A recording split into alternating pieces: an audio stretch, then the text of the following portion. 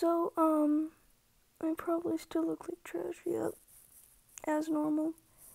Anyway, so, oh, frick, it happened again. My brain stopped working. Oh, yeah, so, um, I worked really, really hard last night on, um, Gacha stuff, and I was working really hard on this one thing for, like, the profile of my channel or something, and guess what?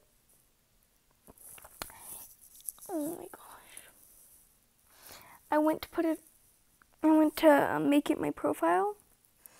The thing I worked literally, literally four hours on didn't fit. So, like, how do I explain this? It was like just the feet and stuff of my characters and